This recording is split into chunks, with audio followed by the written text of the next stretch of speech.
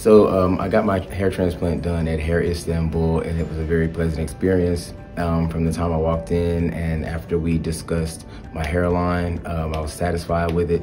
And the doctor came in and introduced himself, and um, we moved along with the process. Um, it was pretty painless. I mean, the most pain is just when they numb you up, but that's gonna happen anywhere you get a, a, hair transplant. But after that, I didn't feel anything. I went to sleep through most of the process until I had to turn over and um, for them to take additional grafts and then uh, turn over again for them to uh, transplant the grafts in the front of my head. Um, I definitely want to give this place two thumbs up because I'm very satisfied with the result and I would recommend this to anybody. If you're thinking about getting a hair transplant, Hair Istanbul is where you should definitely go. Uh, they're reasonable with pricing, everybody's very nice, and they feed you during the process and you'll be very satisfied. They wash your hair two days later, uh, nice hotel, free breakfast, and I'm looking forward to the end result.